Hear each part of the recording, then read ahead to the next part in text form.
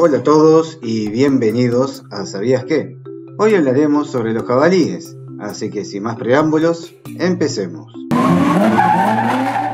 Como forma introductoria hablaremos de dónde son originarios y contaremos brevemente su historia.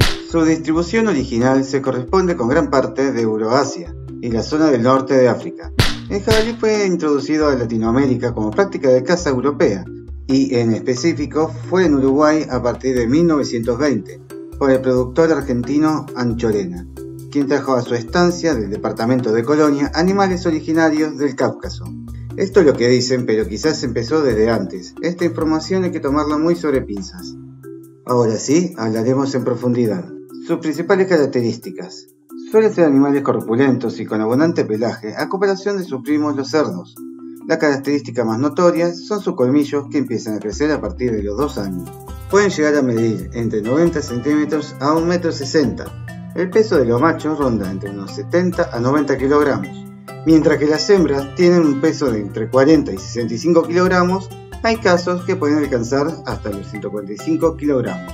Si te está agradando el contenido, no te olvides de darte una vuelta por el canal, dejar tu like y suscribirte. El celo principal tiene lugar en otoño, variando la situación geográfica con una gestación de 120 días. Los partos se producen entre enero y abril. El número de crías oscila entre los 3 y 12. Alimentación. Su alimentación suele ser omnívora, su alimentación principal son los vegetales y semillas, pero también invertebrados, mamíferos y micromamíferos. Ahora entraremos en la sección de curiosidades. ¿Sabías que los jabalíes no tienen casi cazadores naturales, salvo el lobo? A pesar de su fama de ser poco higiénicos, los jabalíes son unos animales a los que les encanta bañarse y cuidar su pelaje. Con frecuencia se dan baños de barro. Otra curiosidad, el jabalí está implicado en la transmisión de la tuberculosis bovina. Como otro dato curioso, pueden correr a una velocidad de hasta 40 km por hora.